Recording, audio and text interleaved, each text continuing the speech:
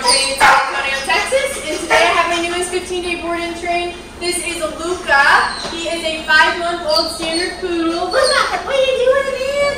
As you can see, he has a lot of energy. He's very much a puppy. What are you doing, man? Um, so before we get him started today, we are going to see what he knows first. Luca, can you sit? Hey, can you sit? Sit? Oh, crap. I totally forgot to say what his dad said.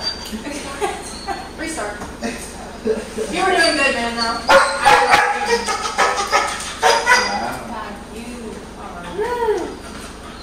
All right, restart. Ready? One, two, three. Hey everyone, this is Abigail here with Sam. Oh my gosh. You're doing so good though. No, now that I messed it up, I'm gonna mess up five. That's how it always happens. That's what happens to games too. If he doesn't get it the first try, Hey, stop. This all you want? I usually like I do do my first one. Usually it's nice. Usually I can get him I'll first do two try. more that's like a computer and I'll choose Yeah. the best. All right, man. Whichever one has the least amount of Okay. Hey everyone, this is Abigail here with Bulletproof Dog Training in San Antonio, Texas, and today I have my newest 15-day board and train. This is Luca. He is a five-month-old standard poodle.